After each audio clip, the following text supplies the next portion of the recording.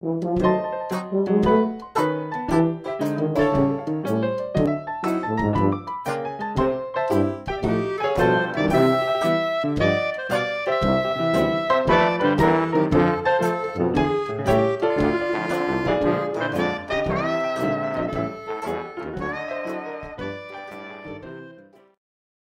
a quick tip. I have this DeWalt saw, um, contractor's grade table saw, and you know, saws are nice and versatile, lightweight, but on occasions I have this rip fence I needed, but this rip fence is only about uh, three inches tall, and sometimes when I'm ripping stuff, I want to be able to rip taller pieces, and what I did was I modified this with a extension rip fence side as such and the way this works is basically three quarter inch uh, MDF glued to a quarter inch about one inch piece of uh, plywood and then three half inch uh, plywoods and fastened by two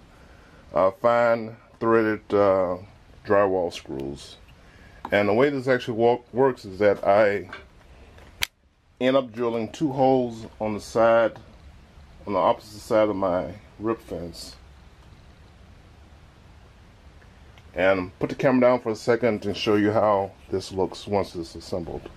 Now you can see my rip fence is approximately seven inches tall compared to three inches that I had previously and again this was just screwed in using two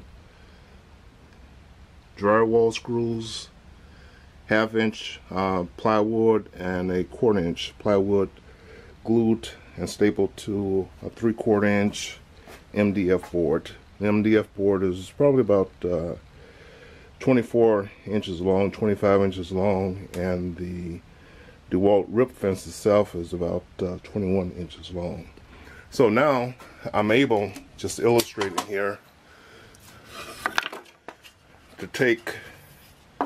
wood and set it up high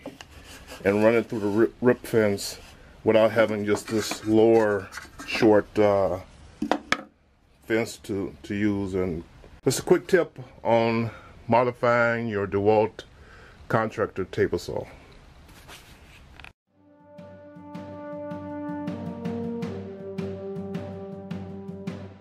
If you like this channel, please hit the subscribe button.